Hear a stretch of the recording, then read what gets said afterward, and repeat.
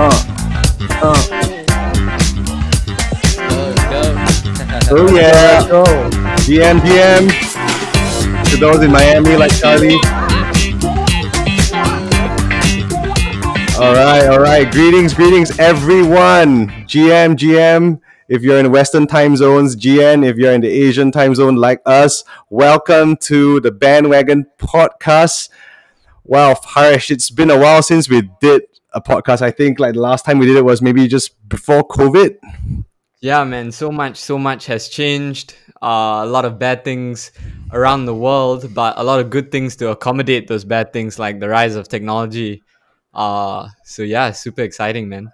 Yeah. So the reason why we're having this podcast today um, is because we've been observing something really special that's been bubbling in the online space, in the music space, and that is the emergence of Web3, um, blockchain technology, NFTs, metaverses, DeFi, and seeing that all come together. And it seems like it's opening a new paradigm for artists and fans. And, um, you know, there's just been a lot of curiosity and sometimes even some misunderstanding on this space of music and Web3.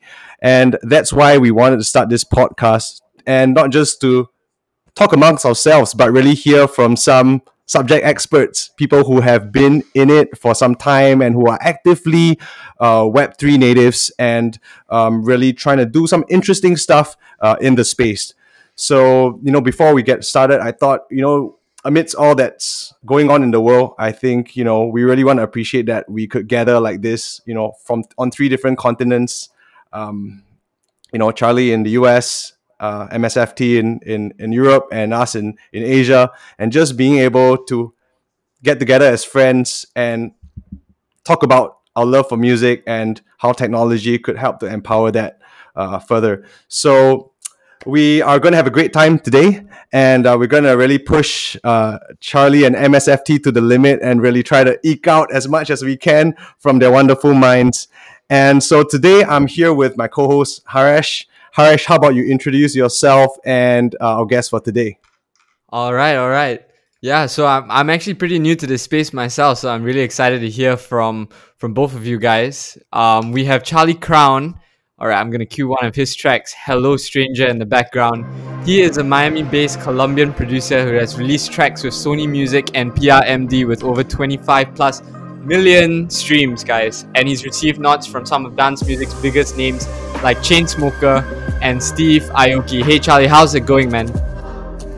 Hey guys, uh, how are you? Thank you so much for having me. I appreciate the invitation and I'm really excited to get going with this conversation.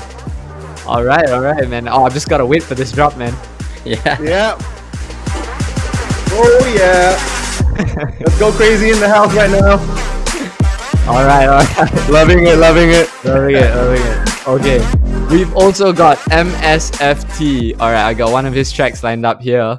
Hailing from Venice, a city I've always wanted to visit. Rising talent who has spent seven years honing his craft, the Italian producer puts his own unique spin on halftime, trap, and dubstep. Alright, he has released, steadily released a handful of powerful bass bangers. Alright, Clarence, what do you think? Is that a bass banger at the back there? Of course, of course. It was so good. I had to ask MSFT to send me a link to it, man. I really wanted to listen to the full track on SoundCloud. Amazing stuff, man, MSFT. Alright, after countless of hours, he finally emerged with his debut EP, Hands. We're now playing it, Take It Back, one of his latest tracks. Hey, MSFT, how's it going, man? How you doing, guys? It's Misfit, music producer from Italy, and yeah, it's, I'm so stoked to be here. It's a pleasure for me to contribute to this beautiful space, and thanks for having me, guys. Alright. All right, all right. Awesome introduction, guys. So we really want to pull the punches and really get into the thick of things because there's so much to discuss. So I would like to start off with uh, MSFT. Uh, I think we got in touch on Twitter um, because of Pixel Bands, you know, Yeah. this uh, music NFT project on Solana, where you basically mint an NFT that's either a band member or like a keyboardist, a guitarist, a bassist, a drummer, and you kind of kind of combine them. And um, I know MSFT you were quite involved. There was a remix contest around some of your stems as well. And um, you know, if you could back up a bit, you know, before you got there, and just share with us like what got you into this whole Web three space. Okay, so basically, um, like the majority of us artists, EDM artists especially, I think uh, um, I got into Web3 thanks to Audius. So back in 2020, um, when the first airdrop happened, and I, I, I wasn't, I was familiar with crypto and the whole crypto thing, but mm, I didn't know, and until Audius, I didn't know there were there was the chance to you know combine uh, crypto and also music, and Audius kind of you know uh, opened my eye and helped me getting to know this space mm, a lot better. And then mm, everything happened uh, pretty quickly because I got involved uh, mm, together with Charlie with Audius Grants Committee. We worked together for season two, and then I got my application for catalog approved. And you know, being surrounded with creative minds and also uh, creative minds in Web three helped me a lot because I'm very like a, a, one of my best friends is Camoufly, and he's very much involved not only with catalog but also with sound.xyz and with the whole NFT music NFT world. And yeah, so pretty much it's uh, it's a beautiful space, and I'm happy to be involved in such a great thing because not only allows artists to be free, but also it's, in my opinion, a new way to communicate and a new way to create the sense of community, which was kind of lacking in the whole in the whole EDM industry in the past few years, in my opinion. And that's it. Nice, nice, really cool. And we're to dive into that a lot more uh, in the coming minutes. Now, Charlie, over to you. I think you know, apart from being a producer, you're obviously also really knee deep um, in the blockchain space. Um, you know, like um, MSFT was sharing, you're one of the committee members of Audio Grants, a community-run um, Audius Grants program. And for those who don't know what Audius is, um, it's a blockchain music streaming platform. And so, Charlie, uh, tell us about what got you into Web3. Hey guys, um, thanks so much for having me. So, initially, to be honest, what got me into crypto and NFTs was just curiosity. I remember finding about um, you know crypto and NFTs back in January 2021 and I was fairly new, uh, finding out about you know MetaMask and wallets and all that stuff. And I remember talking to uh, my friend Cooper Turley. We've been friends for a while from like music stuff from before the crypto, before I found crypto. And and he was I remember he pushed me a lot to like get involved. Like um, I remember he recommended me to join communities like Songcamp and apply to Catalog, and uh, you know start getting in conversations and knowing the people that were already in the space. And that's when I met, uh, you know, MSFT, and I uh, learned about the grants committee, applied. Uh, then I was uh, fortunately selected for for a role in in the in the committee, and and that's basically how I got started. You know, diving deep into NFTs. You know, finding about OpenSea and getting my feet wet uh, with every platform that I could. Interesting, interesting. That's really cool how you both kind of got into the space in a in a fairly similar similar fashion as well. Um, so as an as a as a newbie when you guys were two years back in the space, like what what were your thoughts about music NFTs? Why why did you think it, it mattered to a musician?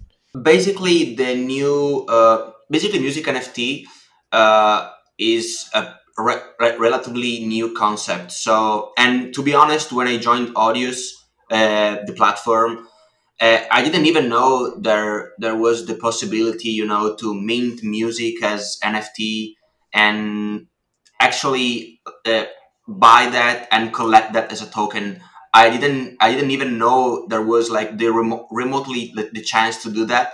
But then, as uh, Charlie said, uh, a lot of uh, you know w- when you join the space, you get to know and get to understand more from uh, very creative uh, minds such as yeah, Coopahtroopa, but also uh, Web Web three Bread, which are, in my opinion, the mm, the leading leading people in the movement which are collector but also um, music enthusiasts. So you know, uh, yeah, the, the whole music NFT uh, kind of happened uh, randomly in like in, into my life but i'm so happy and i'm so glad that i joined this movement because i i got to i got to know i got to meet a lot of beautiful people and i i don't regret anything. Interesting. Mm. okay. What about you charlie? Do you have anything to add to that um, about what music nft is and why it should matter to a musician?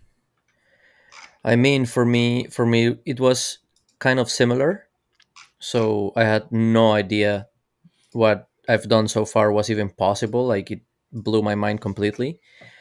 But definitely when I found about platforms like Catalog and I started to research what NFTs could become, I was like completely blown away because for me, and, and this is like an analogy that I like to use when I talk about music NFTs, and I think this is definitely going to help some people understand how I see them. It's like for me spotify and apple music it's like paying an entrance to a museum you know? You get to pay 10 bucks for the entrance and then you get to go inside the museum and see as many artworks as you can mm. and as many artworks as you like and you can skip the ones you don't. Uh, but then there's actual people that are the actual owners of those artworks that are in that museum that are renting those artworks to the museum so that people can watch them for a very little price but they don't own the artworks. That's how i see music nfts right now. So people are going to be able to still go on spotify and apple music to see all the artworks and listen to all the art they want. But with nfts now and with music nfts more specifically there's going to be people out there that actually own the original piece so that's how I view music NFTs, and that's when when they really blew my mind, and I was like, wow, I really need to get in on this. Hmm. Wow. Yeah, Charlie, I love the analogy of, of the idea of a museum. I, I think that kind of helps people to really identify hmm. and kind of have a frame of reference. But I think one of the things I've I've heard, you know, and kind of I think there's some confusion around this is the fact that you know owning an NFT doesn't necessarily give you um, rights to the songs, and sometimes people think rights, i.e., like I get the royalty revenue, right? Like, could you just touch on maybe the different kinds of music NFTs and um, you know what sort of rights a holder would have?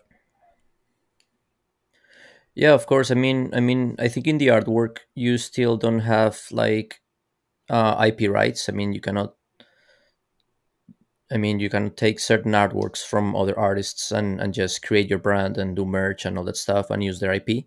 Um, but in terms of music, NFTs and NFTs in general, for me, what's really appealing is like imagination is the limit. You know, you like you as an artist have the the the the right or like the the freedom to really include whatever you want into an NFT. I mean, if you want the NFT to don't include anything and just be like an edition or a vinyl, um, that's all right. And there's a lot of artists doing that in Catalog and Sound XYZ and all these platforms. But then you also have the freedom to like include royalties if you want uh, with platforms like Royal, and um, you can include tickets to your shows. You can include downloadable down um, downloadable content on on platforms like Mintgate, and you can gate content there for for token holders. You can include access to Discord channels, ask uh, access to yourself. Also, maybe include like a FaceTime call with the artist. I mean, that that's the the more appealing part to me. The fact that really your imagination is the limit. Whatever you can imagine, you can include it in an NFT most likely. Great, that's, great. That's and and MSFT, what's your view on on this? Uh, basically, I wanted to, uh, you know, Charlie said uh, a while back uh, and like brought up this analogy with the museum, which I think is very is very correct. Uh, so we were talking about uh, the concept of ownership. Like let's let's imagine that we're we're owning paintings. So I'm owning a painting from Picasso. I'm owning a painting from Van Gogh this doesn't mean that I made that, that I, I have the right to say, okay, this is my, I produce this. but that's the concept of the, the concept of ownership. There's just one copy, and you are the owner. So uh, in this case, of course, these are digital copies that are living forever in the blockchain. So the whole the, the, tricky things for a newbie would be the concept of uh, the, the, digital ownership because you cannot uh, you cannot formally touch that. You can you don't have a vinyl in your in your hands. You don't have a physical copy of that. But yeah, uh, this doesn't mean that you, you do not you do not own that. So um, if we as Web three uh, movement and the whole society will slowly um, approach this new form of ownership, I think everything will be will be easier to learn and easier to understand. And also, it will be um, way easier for artists to be to, to be on board uh, into Web three spaces, in my opinion. And yeah, of course, uh, everything Charlie said uh, is uh, is true and correct, and I want I want to co-sign that. Mm. Mm, love great, that. Great. I love that. Yeah, love it, love it. And I guess what do you think are some of the top reasons why um, people hold music NFTs from what you've been seeing in the space? Is it, you know, that Charlie mentioned a whole bunch of things, but what do you think are some of the main benefits that are drawing people to pay uh, for it? It's, in my opinion, it's uh, a sort of investment. Let's say you you're investing uh, you're investing in some new artists, in artists you believe in, people you believe not only the music vision but also their Web three involvement involvement, and it, it's as as an investment you cannot have the Im- immediate immediate return, but you you have to. Uh, follow the process, uh, being in the loop, uh, and see. And also, one of the best things that uh, actually helped me understand uh, what's uh, what's the main purpose is uh, in a like un- under a, a, collector perspective uh, was brought to my attention thanks to Coopahtroopa's podcast, which was uh, released a couple of days ago, and it's very interesting. And he was saying that uh, owning the track from an artist you you like is a new level of appreciation. So of course. It's an investment. As as an, as an investment, you you think you, you have clear in your mind the monetary and the economic value. But it's also a new level of support which it's i know it's hard to understand for, from a newbie's perspective but supporting by owning is uh, is giving so much potential is giving so much power and also i would say emotional connection between the artist and the collector. So that's that's what's game changing to me. Right yeah so i was just yeah i was just really interested about the emotional connection part that you're talking about um, because a lot of the musicians that I follow sometimes do not tour or do not even. I mean, if they have some skill, um, they would be able to go around the world, but some some don't get to, and I don't get to see them personally. Um, so this is a very new way of me um, connecting with them. Exactly. Um, so do you guys have any examples of like fans that that you've reached a, a a good level of connection with, and like could you could you share a little bit about that? Uh, yeah, I can, go first, and then you know, uh, so I can uh, say just one more thing. Uh, yeah, uh, regarding to what you said, uh, like my very first collector was Austin from Audius, and you know, being in the audio space and working also for audio grants committee which is an which is not directly affiliated with audius but you know we, we get to know each other very very well uh, it really uh, it really le- left something beautiful inside me because you know uh, it's basically one of the people who are working for a huge company that kind of help you you know understand the whole web3 thing and now he's owning your genesis nft uh, genesis music nft it's something beautiful you know because it's like you know a full circle moment and definitely something that I, I, I will not forget. And i think that also it's the first music nft that austin is collecting. So i guess it's something special for him and i hope it's something special for him as well. So yeah that that's that's what uh, it, it really means a lot to me. Mm. and what about you charlie? Yeah same. Um i shared a lot of the sentiment and i have a sim- similar story. So I, I run a crowd fund and, and maybe uh, we're gonna get to talk about that uh, a little bit later but one of the first contributors to the crowdfund that I ran was my friend. Uh, his Discord name is Truster, and he was the absolute first person to contribute, and it was really meaningful to me because for a while, like even for the first month, he was the only contributor. So I, I only had one contributor. I was you know trying to reach out to people and trying to connect and trying to share my crowdfund as much as possible, trying to find uh, more people that were willing to participate. Uh, so because of that, we created a, a, really really strong bond.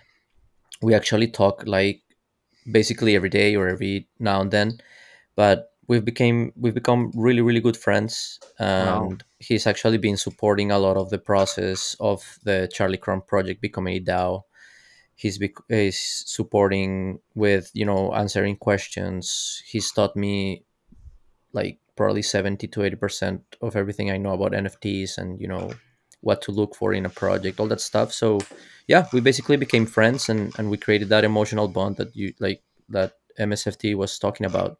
So it definitely helps uh, on on a different level, rather than you know like selling a T-shirt or or something like that. Mm. Mm. Very interesting. So I think uh, earlier there were two platforms that were mentioned. So uh, one platform was Catalog, uh, catalog.works, where it's basically a place where you can buy uh, one-on-ones that are specially that are unique uh, just to the owner. And there was also Sound.xyz, which I think uh, MSFT and, and Charlie both mentioned, where you basically can buy one of a set of NFTs. Um, so they are released in a collection, like, say, um, 30 or 50 or 100, and you can mint uh, one of them. So, now, in you guys' opinion, um, you know, and this is especially for artists who may be keen uh, after listening to this talk, like, how do they go about picking? like what sort of strategy they should have. Is it a one on one? Is it a collection? What's the difference and which is better? At least for me, in my opinion, I think it would be great to have a scenario where we as artists can make use of all of them. And I'll give you an example of what something like that would look like. So let's say you have your original track and that's probably of course going to be the one on one but then as a producer and as an artist uh, sometimes we feel like some songs are never finished or like maybe you could have done something different or you have maybe channels or ideas that you didn't include in the final mix uh, so maybe you can create a scenario where you create alternate versions and those can be additions and variations to the one of one so like the one of one is probably going to be the more expensive one because there's only one. Uh, but then you can do additions of maybe like a VIP mix or an extended mix or uh, uh, a VIP change in, in production from yourself. Or if you can, if you want to go further, you can um, connect with other producers, make uh, have them make remixes of those songs, and then release those as editions uh, at a lower tier. So that you know there's going to be a collector that's going to be willing to invest that much money in the one of one.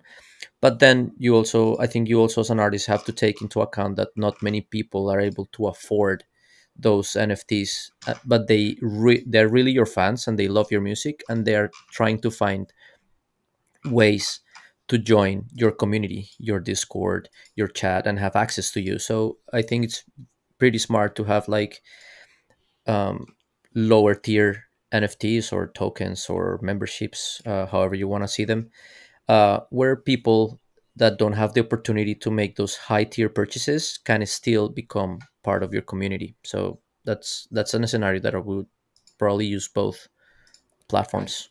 And it's also kind of great for you as a producer, also, right? Because I can imagine that as you're making the tracks and stuff, there's a lot of different ideas that come into your head, and like not often you can monetize all the different tracks, the, the different paths that you take as you go along. But now now there's a way to um, have that art be appreciated.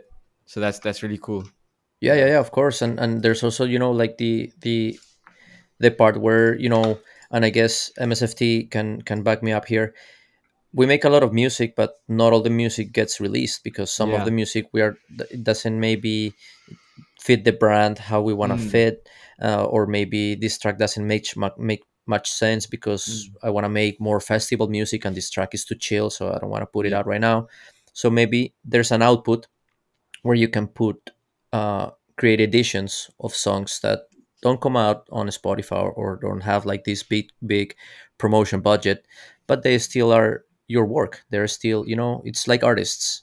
Mm. Not every piece of artwork is on a canvas. Some of them were just doodles or um, pen and paper, and those artworks they're not the official artwork or the final painting, but those artworks, uh, especially from for from artists that are already dead, uh, those artworks still hold value, and there's mm. still people that collect, you know, sketches from artists, or you know, so that that would be interesting to like be able as an artist to take my sketches, quote unquote, and create editions and create a, a way from people to still collect them. They don't necessarily have to come out on on, on DSPs, but maybe there's a way to do that that's very true mm. very very true also it, it allows the collector in my opinion to also own um, pretty much a um, a section of the process uh, when you made that song because it, it could be a vip it could be a different own a different self-made remix of your own track but it's something that it's not coming out on digital platforms, but you still have that one. So you kind of you kind you kind of followed the artist you invested in uh, through the whole uh, making of the track, and that's that's interesting in my opinion. That could, as Charlie said, that could uh, shed some light on on other other things, other emotional things. As I was as, as I was telling before, uh, it, it's it's very interesting in my opinion, very beautiful. Hmm. Wow, amazing, amazing stuff. And I kind of want to explore another thing, which um, you know, it's I think it's quite obvious to most um, who are purchasing NFTs. I think earlier, you know, Charlie, you alluded to the fact that you know some could be quite pricey for uh, certain, you know, especially for collector pieces, right? It could be um, kind of a bit more pricey.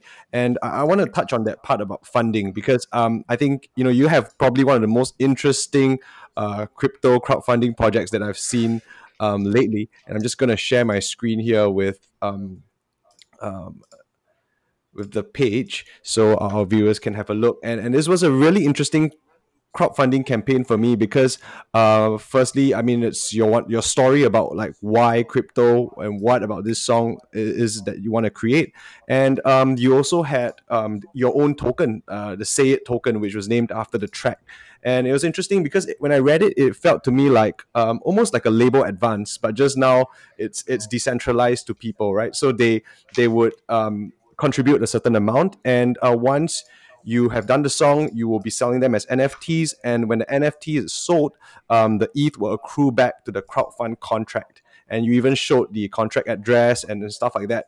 And not only do they um, kind of just contribute to that, but in, they also have um, NFTs which are airdropped and it's like according to certain milestones. So like, you know, if I as a fan, I can have the NFT to kind of really say that, hey, I was with Charlie right from the beginning. And I thought this was just an amazing way to kind of like integrate some of the things that you and MSFT were, were talking about. Just wondering if you could talk us through like your thought process, like how you came about to craft this kind of crowdfunding campaign. Amazing, amazing. Thank you for your words. Uh, so my thought process for the crowdfund was trying to find a way in which I could basically fund the release of my song, but don't focus on the monetary or financial aspect of it because I think uh, with the speed that this space is moving at right now, there's a lot of of kind of like people that are getting in uh, just for the money, you know. So like you have a lot of scams, you have a lot of NFTs, NFT projects that just come in, uh, make a quick buck and and get out. And I didn't want it to see, I didn't want fans or or like general audience to see this crowdfund as like okay, this guy just wants money and then he just wants to release music and all that stuff. So the way I created the crowdfund was like okay, how can I ask for this amount of ETH, but then uh, create it in a way that most of it or more or in its entirety, it's coming back to the people that backed the project in the first place. So that's why I created um, the part where you know the catalog, the foundation, and the glass auctions. Ninety percent of those will go back to the crowdfund contract, so that people then can you know exchange their say tokens for their share of the ETH that's there. The other ten percent from each auction is going back to the creator. So basically, I'm keeping very very little of it. And then um, the thing, the NFTs about the the milestones was um, some feedback that I received from one of my good friends over at Mint Songs, and he said like, "Hey, maybe you should try to find a way to tie in the token or the crowdfund to the actual success of the song." So I was like, "All right, that's a pretty good idea."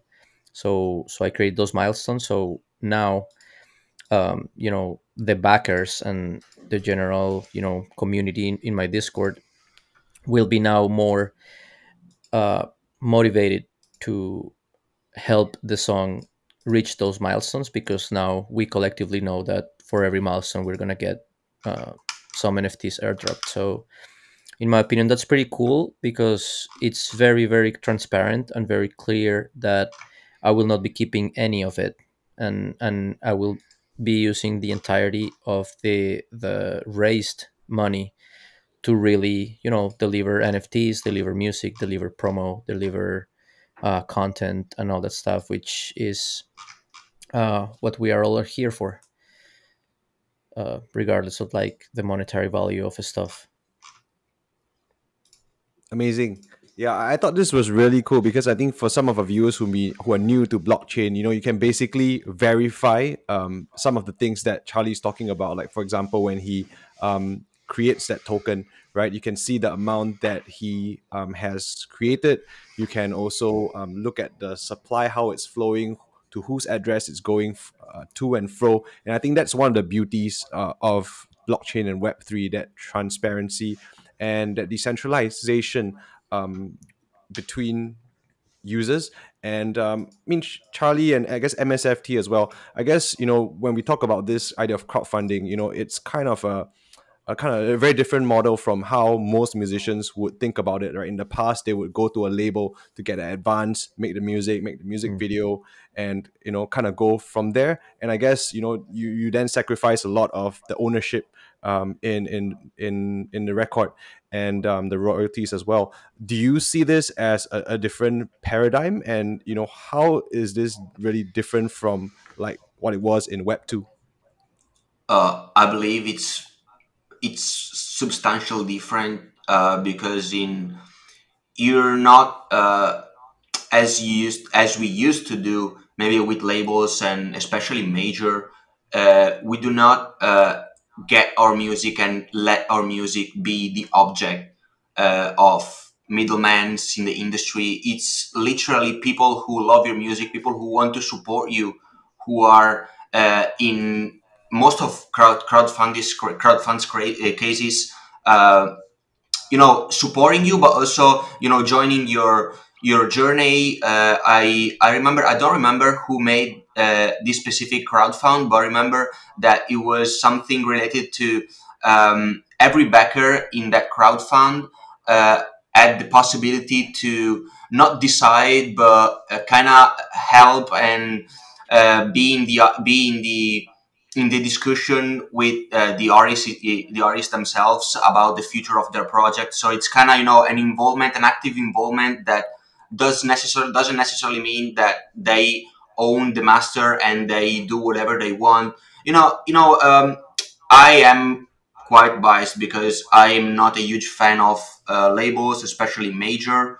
Uh, but I think that this is a very different story respect of like with respect of Web two. Web three is here to stay, and here and it's here to change artists' lives, in my opinion, rather than you know getting the advance and pretty much leaving your music in the hands of some middlemen in the industry, which which was the case of Web two. That these these these are my two two cents, of course. Amazing, mm. amazing. I, I agree with that. You know, uh, and in in terms of like web 2 and web 3 mm, and coming off from my previous point, I don't want to seem like I don't want to make money and I just don't care about money because I do, and of course, like we all here uh, Mm. are like very interested in making money, but and I think here uh, MSFT might might agree is the fun part of all of this is not making the actual money. Like I mean, money is gonna happen either way if you are doing things right. Money will flow. Yeah.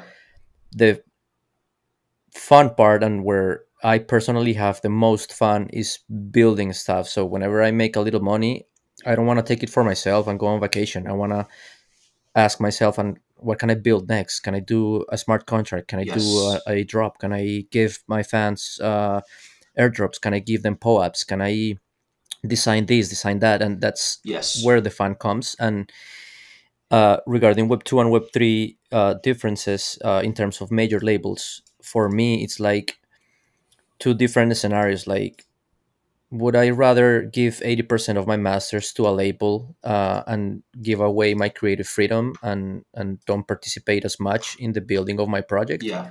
or would I rather give 50% of my royalties to my fans that are people that literally love my music. And create it in a way that they actually can make money with me as well. So they act automatically stop being fans and they become partners supporters. Yeah. and that for me it's a more appealing scenario where you know what? Let's all grow together. Like if i make money you guys make money too. So it's a, a beautiful scenario where i don't sacrifice 80% of my masters and i retain 100% of my creative freedom Yes, and I, I wanted to add just one thing because it just came to it came to mind. Um, there is a huge difference. Also, one of the things that I want, one of the analogies I always uh, think of when I'm talking about Web three is when um, a lot of people actually compare Web three in this actual stage to uh, the old SoundCloud era, when uh, per, basically. Mm, 24, 2014, 2015 SoundCloud era when um, a lot of people were interested in the music and the, the market was not saturated. And it was an overall joy in discovering new music and you know supporting new artists getting to see uh, their you know their growth and their journey. In this case of course this took the whole soundcloud thing to a new level. And i feel that um, it's it's way better than you know getting your music uh, to I don't know some editorial playlist when people you know listen to that, but in a very passive way, and you do not create a sense of community. You're just you know throwing your music out there, which which to some extent can be fine because it can help you you know getting yourself out there to the, the bigger audience. But it's I feel that with Spotify and the whole Web two right now, uh, in music industry it's more about you know a passive mm, a passive way of listening to music rather than uh, listening actively and eventually you know owning and purchasing directly supporting the artist which is uh, which what is happening uh, with web3 right now Yeah, that's so cool, man. Because I, I, your your analogy just reminded me of eh, all the times I was back in school and people are like, "No, no, no! I heard that artist from SoundCloud. I was the OG." yeah And like the number of times you hear that means means there is a lot of weight in in being the the the OG, the original listeners and supporters yes, of the fan. People care. yes Yeah, I just made that connection in my head, and I was like, "Oh yeah, this this stuff really does matter." Yeah, yeah yeah exactly Yeah, that's cool, man. yeah, yeah. And now now it's now it's even more elevated than just being on SoundCloud. Now you you own it. A hundred Wow, yeah that's that's really cool. now it's It- it now it's clicked in- now, it now clicked in my head. guys yeah. Yeah. and now it's more elevated like Yeah, imagine imagine this scenario where it it happens exactly what happens to SoundCloud. So, you know, a bunch of people start creating NFTs on catalog and people get discovered and the whole SoundCloud things happens again. But now every OG that was there from the beginning now has a mm. POAP or a, an NFT to like that reminds them of the fact that they were an OG. And now they can prove they can prove socially Yeah. to other people that they were an OG. So Yeah. that's insane. absolutely Wow, I kind of wish I bought NFTs of those uh, early SoundCloud artists now. Damn. Yeah, imagine that. imagine having some Kygo NFTs Damn. when he was, you know, Yeah. releasing remixes Yeah. like every two weeks on because I was really there. I, I swear, I tell my friends I was really there, but I got no proof. Yeah.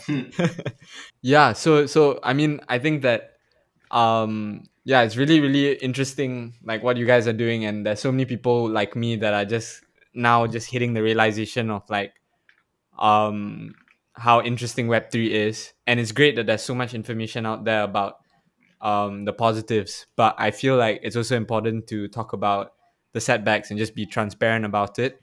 Um so yeah could you guys share maybe you could hear from msft first um about yeah some of the setbacks of web3 um some of the things you realized through trial and error. Yeah.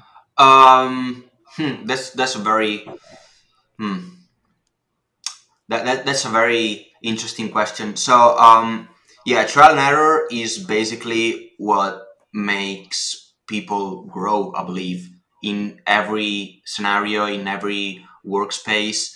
In Web three, I feel that there is no error.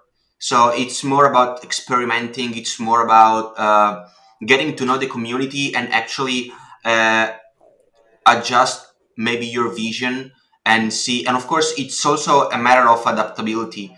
You need to be um, you need to be down to adapt yourself to this space you're involving yourself into because you already know that the other people in the space are down to adapt themselves uh, with your view with your project. It's you know it's it's about uh, it's all about in my opinion uh, finding a common way a common path and it, so that's why i don't think there are actually errors. It's all it's all about you know trying experimenting of course but i i, I don't see uh, you know uh, making mistakes in web3 because you're it's we're so early in the space it's so new and making something that could be potentially considered an error right now could be in a two year span could be you know the the the, the like a million dollar move you know?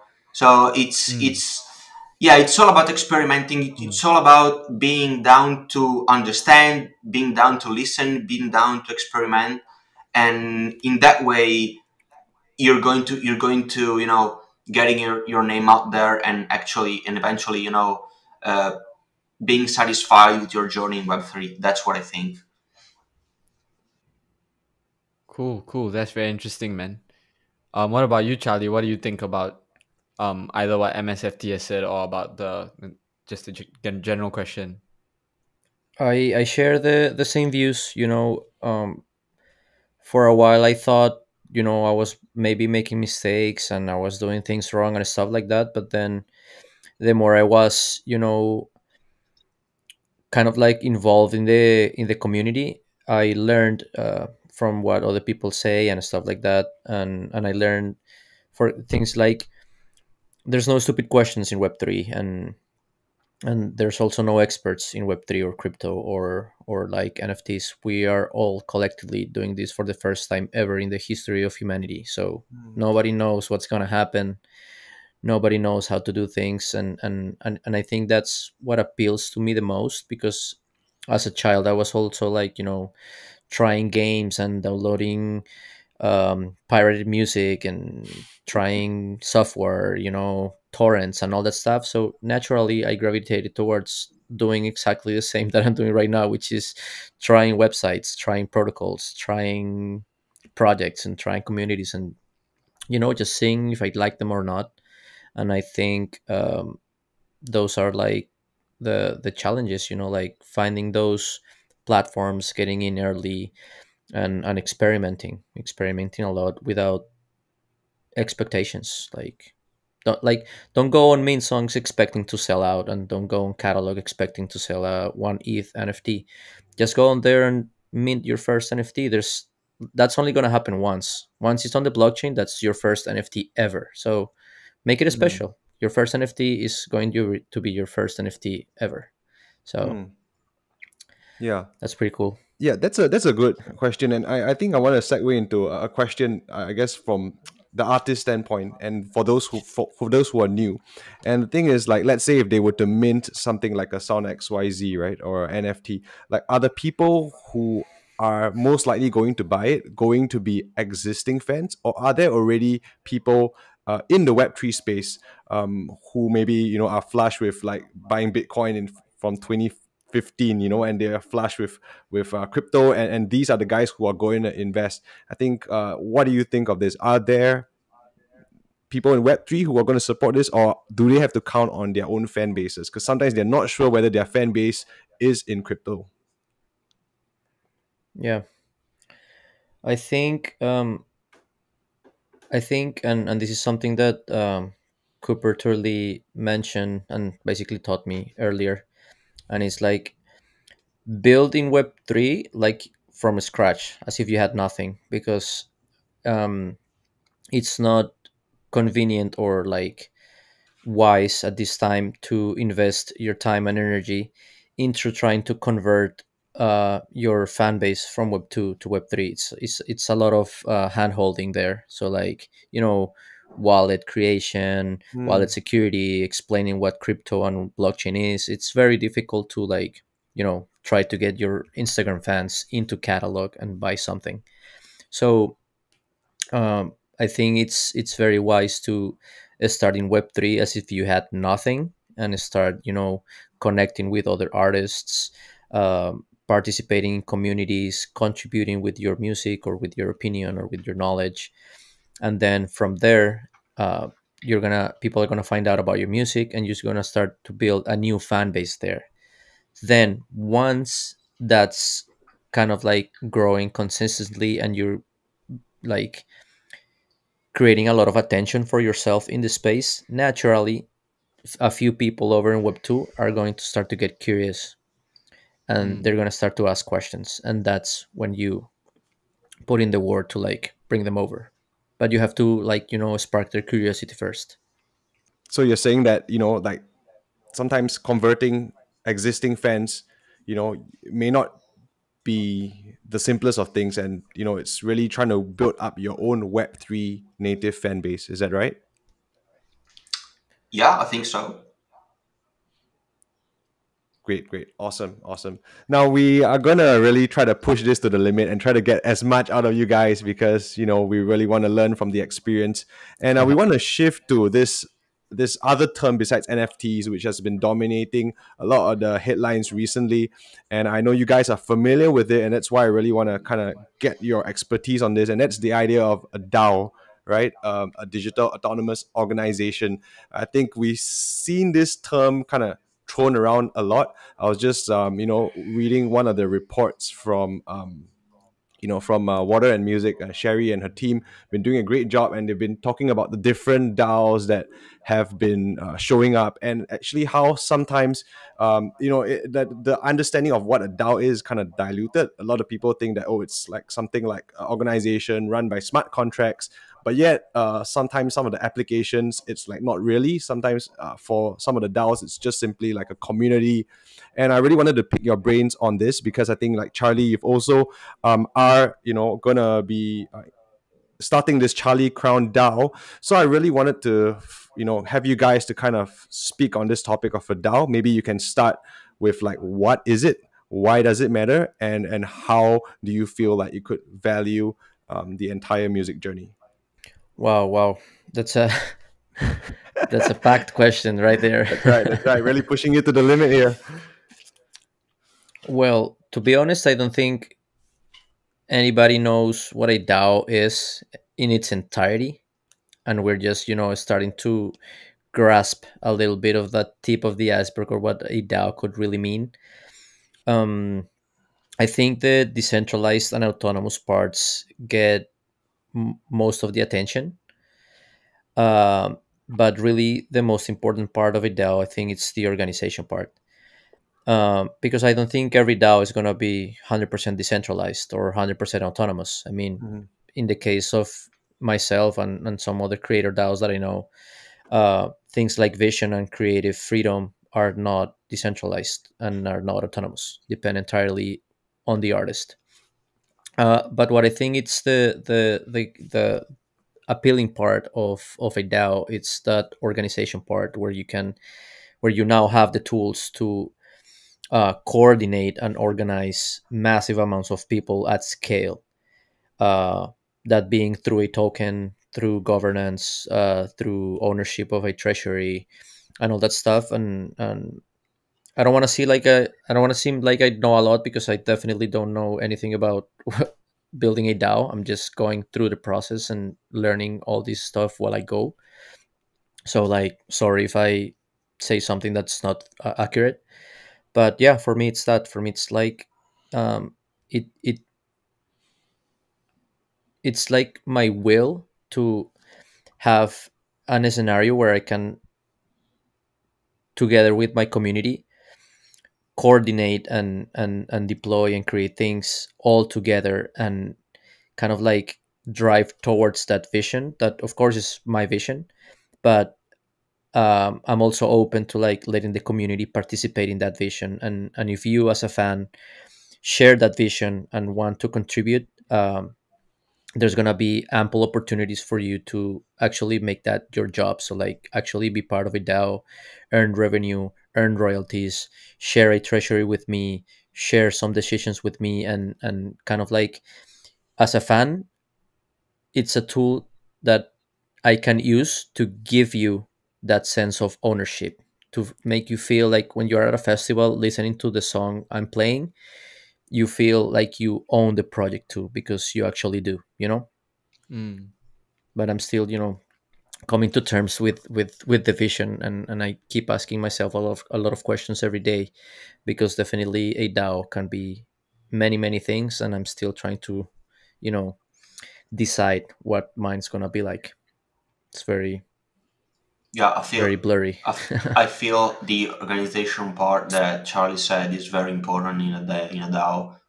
Um, of course, there are different DAOs and different uh, different I would say goals for the DAO. Uh, different communities, different uh, you know. Uh, a DAO means uh, pretty much anything. You can you can give uh, any mean any goal to a DAO what actually matters is the concept of organization, concept of community that you're going to give to, to a DAO based on tokens, social to- social community tokens that you can give through, you know, mm, even uh, community calls, roles.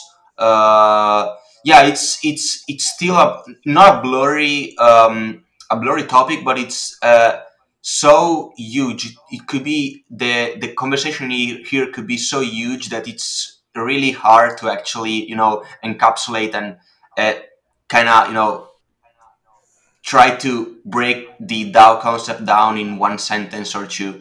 It's literally huge. It could be yeah uh, it's it, it's it's all based on the concept of community which is like the, the, the drive through the web3 space in my opinion and yeah and then everything comes uh, comes after that. That's that's the thing. Yeah also my my uh, answer is not complete at all uh, because i'm still new to the dao to the dao concept and the the, the, the dao creation as well but i'm very interested in knowing more. Uh, I remember reading a tweet by one of the major Web3 music collectors uh, talking about creating a DAO for samples and loops. And this, I, I thought about that pretty much every day since I read that tweet. And I wanted to know more on how that could be created, that could be deployed. So, yeah, it's still, the DAO concept is still something, especially artists need to dive into a bit more to understand all the to understand the full the full potential of a DAO, especially for artists themselves. Mm. Yeah, from what I'm hearing, like the sky's the limit, right? I mean, I, I like Yeah. I like the idea of samples and loops, and I think uh, you know MSFT, you've got some really awesome loop packs, right? I, I, I see that included with your um, catalog NFT as well. Yeah, they're part of the utility. Even even though I'm I'm not a huge fan of actually no material utility, I think that that could be you know a a little plus that could you know be something also you know something more to give to the to the to the owner to the future owner of the of the track Right, and they also get unreleased music folder, right, in in Yeah. Dropbox. Yeah, because you know Wow. that, and that's really important to me because you know when you uh, purchase, actually when you own, when you bid a, a song of mine, you actually you know interested in my music and in knowing my music. So I'm interested in getting to to know you, and I'm interested to showing you my music, my earliest music first because I want to know you what you think because you, you're one of the you know the investor in my project actually, and you deserve that.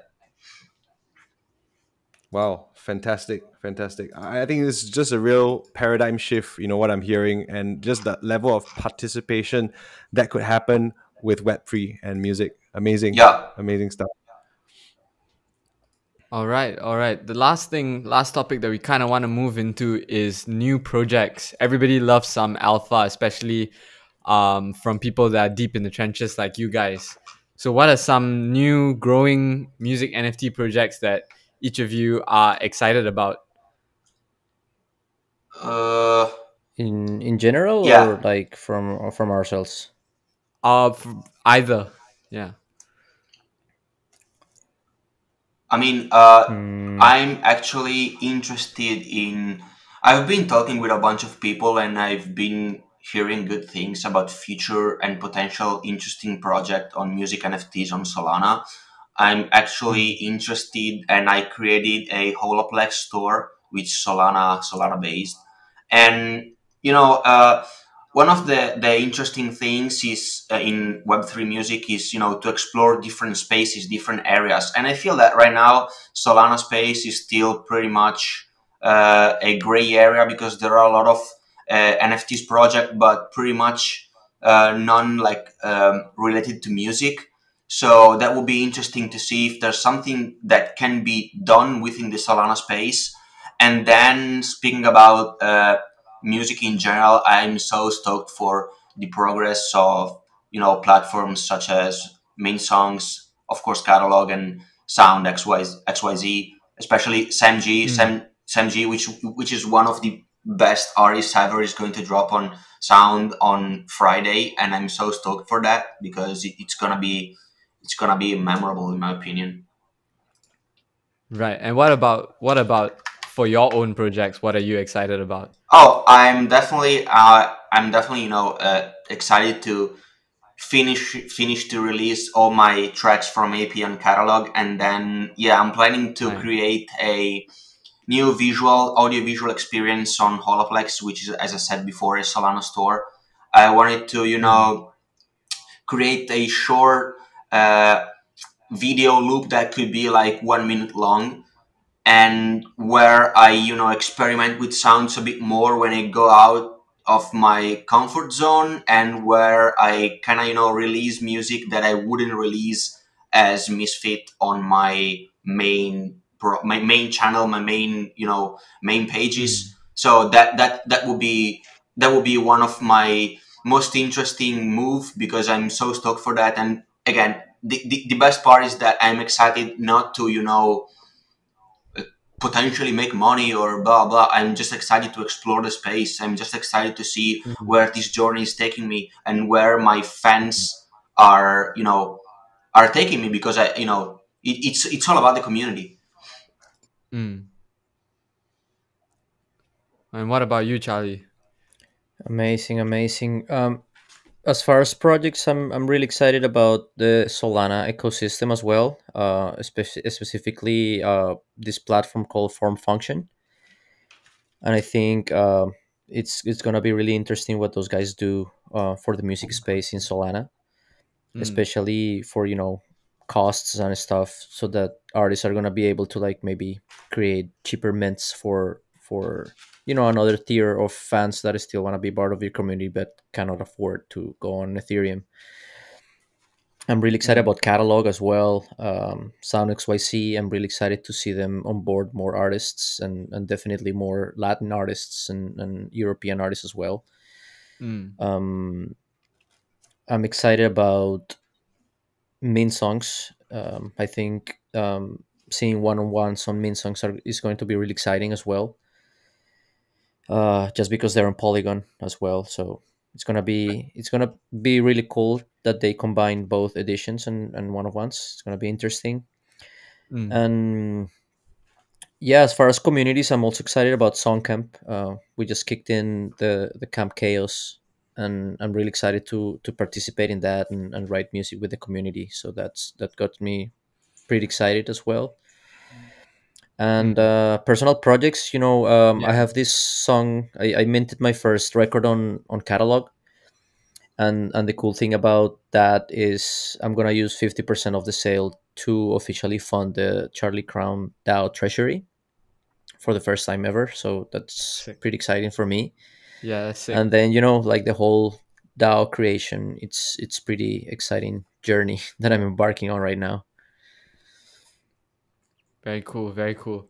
Really All cool. right, that's really interesting, guys. Looking at the the stuff in the future that um you guys are working towards. Um, as we round out the chat for some viewers who are keen to learn more, uh, besides you two, who do you suggest for these people to follow? follow perhaps. Yeah. Oh well, there are actually a bunch of uh, creative minds in music web three, music NFT space.